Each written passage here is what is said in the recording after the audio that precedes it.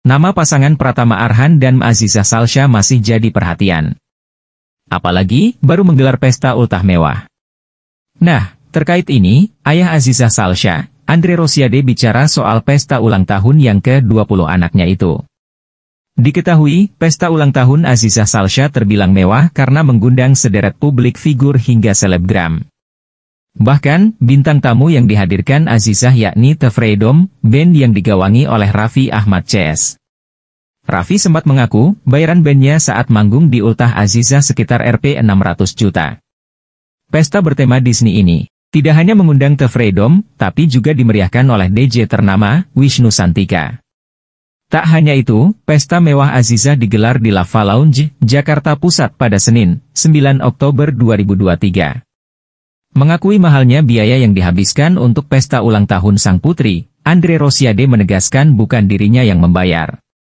Politikus dari Partai Gerindra ini menyebut semuanya sudah ditanggung oleh Azizah dan Arhan.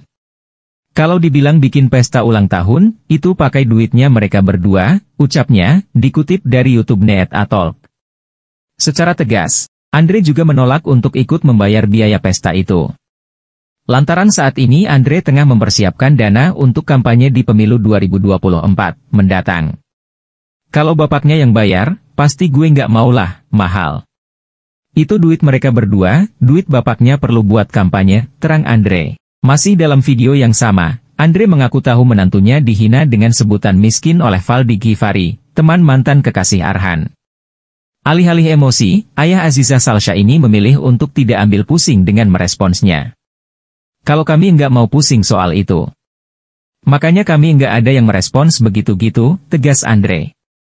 Menurut anggota Dewan Perwakilan Rakyat RI itu, lebih baik fokus pada diri sendiri daripada memikirkan omongan orang lain. Karena, hal itu bisa memicu stres berlebihan jika terlalu diambil hati. Kita nggak usah mikirin orang lain, yang penting fokus sama diri sendiri, jelasnya. Kalau dipikirin semua, stres kan, tutur Andre Rosiade. Dalam kesempatan itu, Andre malah membongkar keberadaan menantunya saat video hujatan itu viral di sosial media.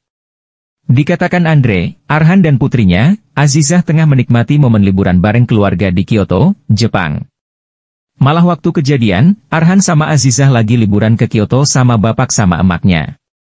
Kami lagi liburan ke Kyoto, imbuh Andre Rosiade. Istri Pratama Arhan, Azizah Salsha menjadi sorotan setelah menggelar pesta ulang tahun dengan mengundang sederet artis papan atas menjadi bintang tamu.